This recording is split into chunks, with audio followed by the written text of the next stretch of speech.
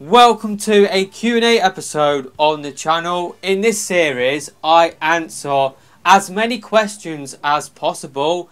If you want to get involved in this series, then leave your question in the comment section below and in the next episode, whenever that will be, hopefully that will be coming out soon. But in the next episode, I will try and answer as many questions as possible. So I must apologise about the wait between the episodes. The last episode did get uploaded on the day of the last direct we had in September. So it has been quite a while. I must apologise about that.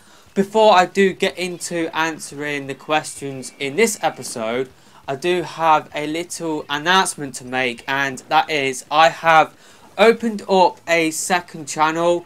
This is just going to be a backup channel, but I have already uploaded a video onto that channel and it is a collaboration between me and Nintendo, kind of like what I have already done before on this channel. So yeah, that video, I will leave a link to that and the second channel in the description and I will basically upload to the second channel around about once a week. This will still be my main channel for the moment unless YouTube tell me otherwise or unless YouTube force me to move channels. But yeah, pretty much I have opened up a second channel and the link can be found in the description below. So the first question comes in from Pearl from Off the Hook. So yeah, Pearl, thanks for watching the videos. Really appreciate that. Their question is, Snorth93, would you rather have a Splatoon 3 on a new console or no Splatoon 3 but further updates and expansions to Splatoon 2? That is a really tough question and I'm really glad I am opening up this Q&A episode with that question. Now I guess I've got two sort of thought processes, one as a YouTuber one as a gamer.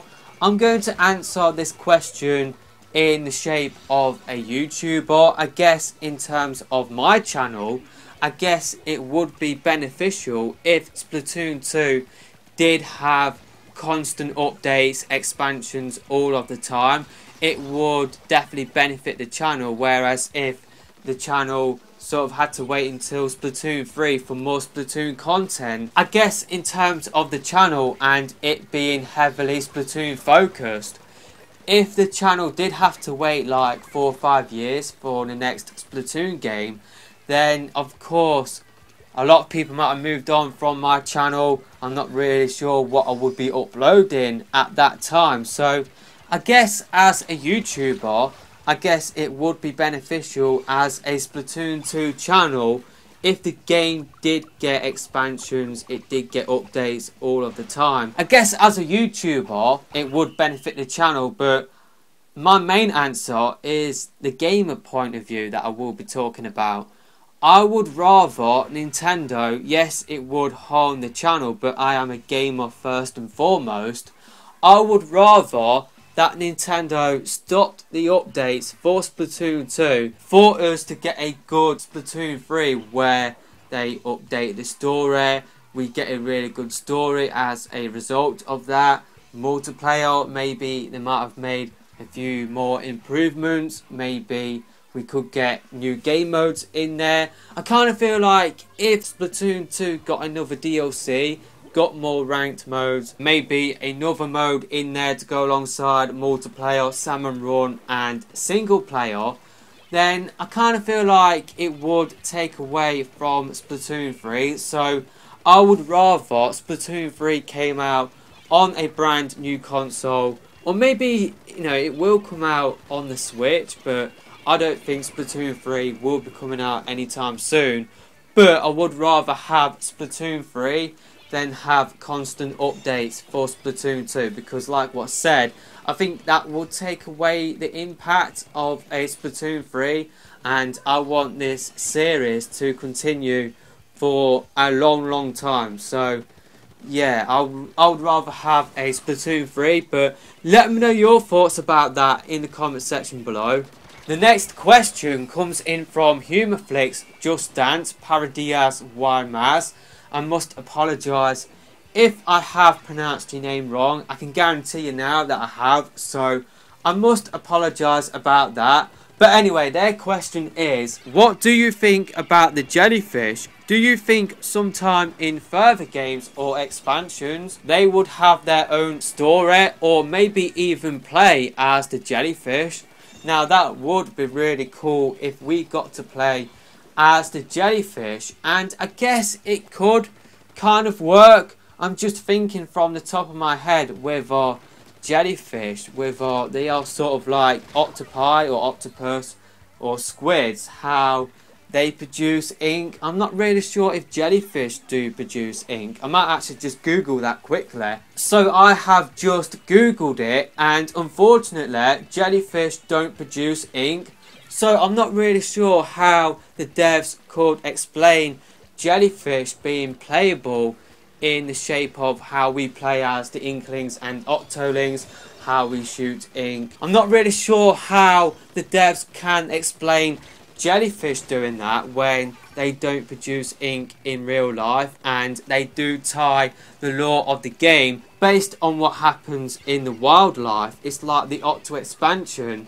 A lot of that was inspired by what happens in the deep sea, so I'm not really sure whether in a main game jellyfish could be playable. But I'm kind of thinking how jellyfish, they do like to imitate Inklings in Inkopolis.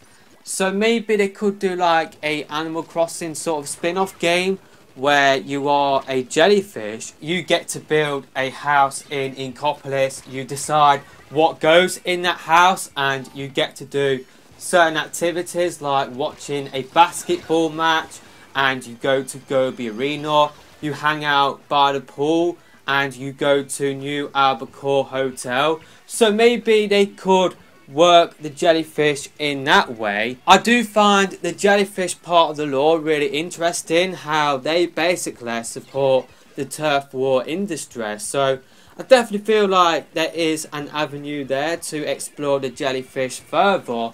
I'm not sure whether they can make them playable or whether they could be playable in a single player for a Splatoon 3 for example but I definitely feel like there is potential there to do something like an Animal Crossing spin-off game but the trouble is you've got a mainline Animal Crossing game coming out in 2019 so yeah if that did happen then it would just get eaten up by Animal Crossing. I'm not really sure whether that game would be able to survive alongside Animal Crossing. Maybe it could be a smartphone game, but yeah, that's just my ideas in terms of exploring more in terms of the jellyfish. Now, I'm not really sure whether uh, your question was directed at me, but I'm just going to answer it anyway, just because it is a really interesting question. So Agent 8's question is, Salmon Run inspired single player for Splatoon 3, anyone?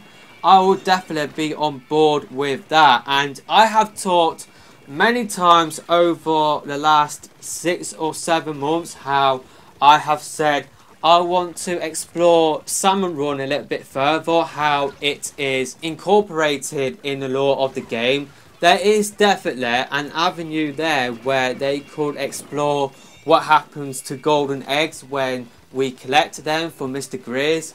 I think it would be cool if we got to learn who Mr. Grizz is and what his purpose is. So I would definitely be on board with that. But I guess on the flip side, I guess a Salmon Run inspired story, maybe you could get to play as a chum and you got to try and defeat that Inklings and Octolings coming to your turf, maybe they could do something like that, or maybe that could be a salmon run sort of mod you could do like in the settings of the game. Maybe instead of playing as an Inkling or Octoling, you just constantly respawn as a chum, flyfish, steelhead, and you have to try and defeat the Inklings and Octolings that are playing. Maybe they could be bots, maybe they could be real players. Maybe could have a situation where you have five players in a lobby. Four of them will be Inklings and Octolings. The other one will be an enemy, but maybe to restrict it, maybe they can't play as a boss. Maybe you will just play as a chum or something like that. Just to get back to the question, just because I have gone a little bit off topic talking about Salmon Run in general, I think it would be really cool if we did get a Salmon Run inspired story for Splatoon 3. I think it would be great to explore the relationship between the Salmonids, Octolings and Inklings and I think it would be cool if we got to see how the bosses are created by the Octarians. I just think a Salmon Run inspired story going deeper into Salmon Run and exploring the lore behind it it would be really great to see in the next game. The next question comes in from April Lewis and because it has taken me quite a while to make this episode, I guess this answer will be a little bit out of date. So their question is, what do you think will happen with the events of the Fork versus Spoon Splatfest and how will it shape the future? Now, I'm not sure whether anything will happen now. I think maybe that has just been set up to implement the Splatfest changes that they were going to make with the next Splatfest that we did get, which was the Retro versus Modern Splatfest. But I guess if Marina keeps on losing, maybe if she does lose the last three or four Splatfest, then maybe that sort of angle that they did go down, maybe it will play a major role again. I guess if this is to be implemented as a story point for the next game, that sort of angle that they did go down with that Splatfest, I guess it would have to be implemented in other regions outside of North America. What we saw in the Fork versus Spoon Splatfest is just a North American exclusive dialogue at this moment in time. So I guess for that dialogue to play a major role, I did talk about this in its own separate video.